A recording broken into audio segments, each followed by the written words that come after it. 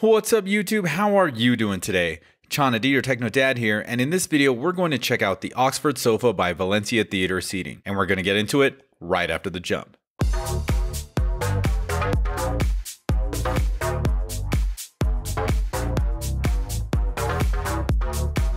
And I'm back. First things first, I want to thank Valencia Theater Seating for sending this in for review and sponsoring this video. I'm super stoked that my living room has a whole new look and function with this brand new furniture. Now, if you like this kind of content, don't forget to subscribe and hit that bell. Alright, let's walk you through the unboxing and setup. So back on Father's Day, I figured I could easily get my teenagers help to assemble this sofa, which means we've had it for about one month now. There are three boxes, one smaller than the other two. Again, I made the mistake of opening the box from the top. It's way easier to open it from the bottom, so just keep that in mind. So first we have the bottom half of the left side of the couch. First thing I want to do is connect power for the bottom half of the chair to the power brick. We simply connect the power cables and put the locking clip into place. Then connect the power brick to the power cable. Getting the top part of the chair into place was a little tricky, good thing I had an extra set of hands to help. Just align the two prongs and slide them into place. You should hear a click to know it's attached. Next we pull the power cord through the slot and connect the top half of the chair to power. Just do the same thing as before, connect the cables, and put the locking clip into place. Now we can secure the rear flap by using the velcro on the bottom of the chair. Alright, that's one down, two more to go. Now let's get the center section, which is the smaller box, out and in place. Same deal here. You gotta align the prongs into place and slide the top half of the chair onto the bottom half, making sure you hear a click. Connecting the chairs may be a little difficult as you'll need to maneuver the pegs on the left side chair to the slots on the center section. Here's what those two look like together. Since the center section doesn't have a reclining feature, we don't need to connect the top and bottom for power. However, it does have a 3-prong power plug for electrical outlets and there is an adapter for the top lights.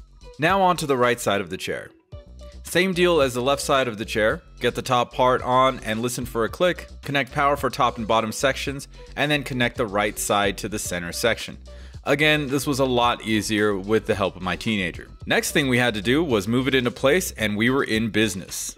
This couch looks awesome. The diamond stitching not only matches the Tuscany love seat, but it's also top grade Nappa leather so it's plush and super comfortable.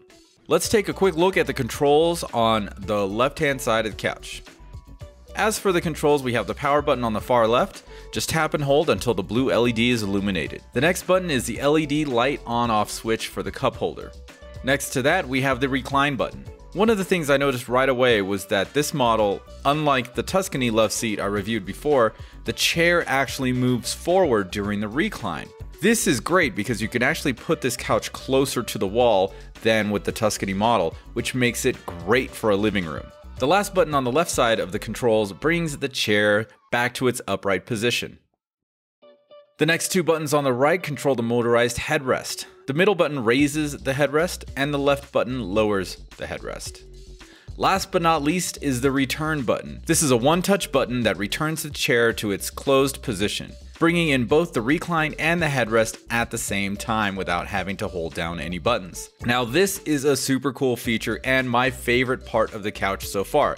You just press the button and you can get up and walk away, or you can sit there and hang out for the ride. But basically, you just don't have to keep holding the button down. Just hit the return button and everything goes back to normal. That's super cool. You also get a USB port on the bottom side of the controls, which you can charge a phone or tablet.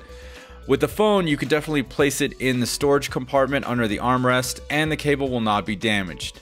Not sure you can fit a big iPad in there, but you definitely can get your phone in there for sure. The integrated cup holders on either side of the couch suffer from the same issues as the Tuscany love seat I reviewed before. Our water glasses won't stand up straight in this cup holder, but soda cans or other cans like this Rockstar will work, Coca-Cola bottles or beer bottles will work, and certain coffee cups will work as well. Moving to the armrest storage, you can fit around 4 remote controls and an Xbox game controller, but it isn't the largest. In fact, it's kinda hard to open all the way. The center part of the couch is not motorized, but it is simple to operate. Move the headrest up and flip down the top part of the chair. This has lots of functionality and I really like it. First, it can be used as an armrest. There are two cup holders, two three prong power outlets, two USB ports, and you get two lights up top that will turn on via switches. This section also acts as a tray, which is super handy. You can fit a small plate or bowl for a snack, and the cup holders are more usable than the ones built into the left and right side of the couch. I know my teenager wanted to have some music, so he was able to put his large Bluetooth speaker and connect it to power via USB cable. I was able to fit my 15 inch laptop and plug it in to charge as well. This is super, super handy. When this is all closed up, a normal sized human can sit in the middle of the couch if you need to seat three people. However, this does not have recline like the other two sides of the couch.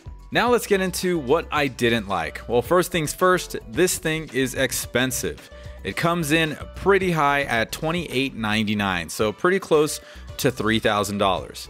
Now, if you wanted to, you could get the same model with downgraded leather for 2000 and save yourself like 900 bucks. So that's kind of cool. Second is the armrest. The storage is kind of small and it is really tough to get it open. You really have to put in some effort when trying to open it up all the way. Third is the LED light ring in the cup holders, which we talked about before. I'm not able to use our tall glasses in the cup holders, but our short ones will work no problem. Uh, another thing I didn't like which really just has to do with my setup in general in the living room. Since the Oxford sofa is positioned pretty close to the Tuscany love seat, out of the four reclining chairs on both couches, only three can be reclined at once. That does kind of suck. However, for our situation, it's not a huge deal as it's just myself, my wife, and our teenager. So, three reclining chairs, three people in the house, that's pretty cool. But it's definitely something to think about if this is the kind of configuration you're looking for in your living room. Overall, I think this is a great sofa with many features that will work in both a home theater and a living room situation. The leather is soft and supple and has a great design and look to add to your current room decor. If you're looking to upgrade your living room furniture and want something more than just a regular recliner, check out the Oxford by Valencia Theater Seating or the other chairs they have to offer. Links to the Oxford and their website are down in the description. Once again, a big thank you to Valencia for sending this in for review. Thank you so much. And if you have any questions for me, please leave them down in the comments below or on social or email, whichever you like to use. Well, that's it for this video. Go ahead and smash that like button, and don't forget to subscribe to my channel using the button in the middle of your screen. Once again, my name is Chana D. I'm your Techno Dad. I'll see you next time.